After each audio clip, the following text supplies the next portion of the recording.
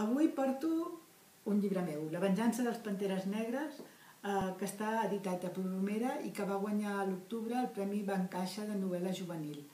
És, és un llibre que parla de bandes llatines i d'exclusió social, de com hi ha gent que queda al marge de la societat per culpa de la seva situació econòmica i com això moltes vegades et porta a situacions tan desesperades que t'impliques en, en coses en les que no et voldries veure implicat. Mm, és un llibre que passa en un sol dia. Al llarg del dia anem veient què fan els diferents personatges d'aquesta història i anem veient-los des del seu punt de vista. L'Òscar, que és un nano que té poques coses a la vida que li interessin, excepte la seva germana, i pertany a la banda dels mm, Panteres Negres.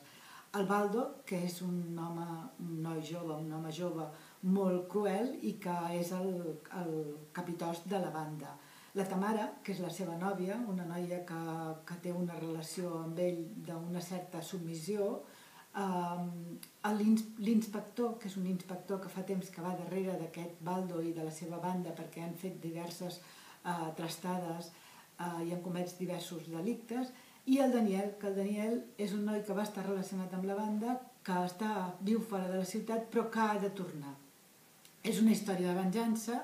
vas veient al llarg del dia com les històries dels personatges es van creuant i la tensió va pujant perquè tu saps que al final passarà una cosa terrible que no saps quina és però que intueixes que serà terrible.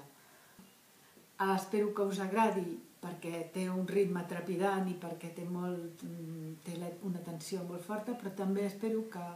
mm, us ensenyi coses sobre els problemes que viu molta gent que queda exclosa de la nostra societat.